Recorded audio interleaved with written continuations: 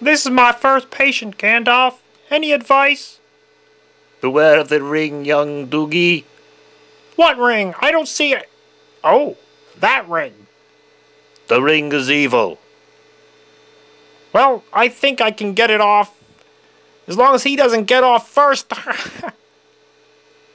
Man, that ring's tight. Don't you have a magic spell that can help? Stand back. I will call down a great storm that shall rain petroleum jelly upon this poor soul. Maybe we can get a whore to suck it off. I can probably get an elf to do it. Yeah, the fellatio ship of the ring.